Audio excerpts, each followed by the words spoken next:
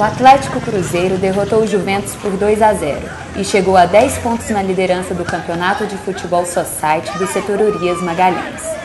A quinta rodada da competição foi disputada no fim de semana e teve também a vitória do PCM sobre os Jovens Craques por 3 a 1.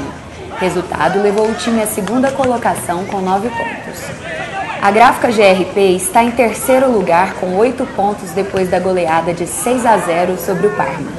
Os outros resultados do fim de semana foram Prime Truck de 3 a 3 com explosão e BM Bebidas 4 a 1 no Nacional.